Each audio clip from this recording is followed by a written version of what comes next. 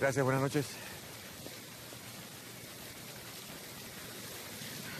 Yo no pertenezco a este club de estirados. No me van a dejar entrar. Claro que sí. Eres mi invitada.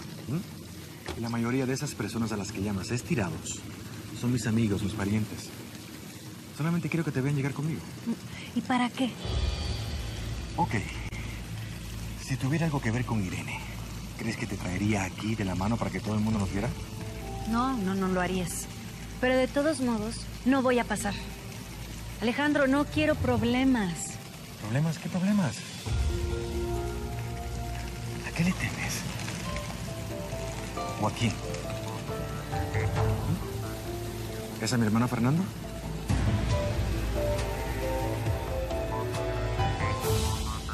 ¿Cómo están mis princesas? Hola, papá. No, princesas no. Soy la reina oficial de las fiestas patronales de San Pedro del Oro.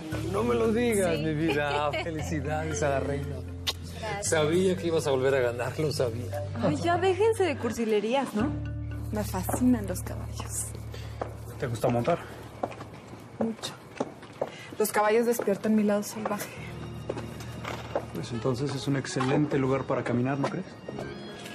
¿Ah, sí? ¿Y por qué? Pues A ver. ¿Qué hay aquí? Mm, qué conveniente. ¿Conveniente para qué? Y esto. ¡Ay!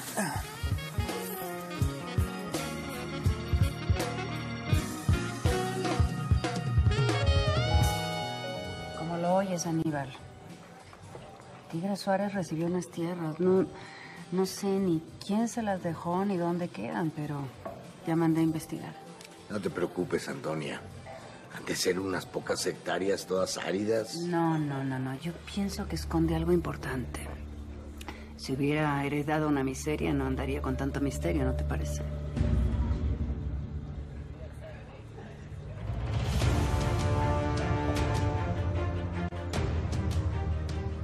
Buenas noches.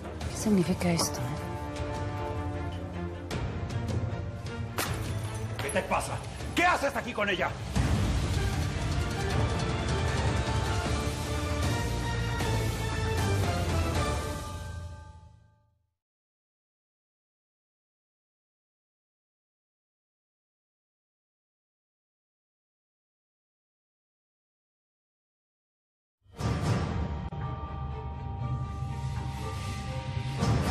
Gabriela está aquí porque la invité. ¿Tienes algún problema con eso?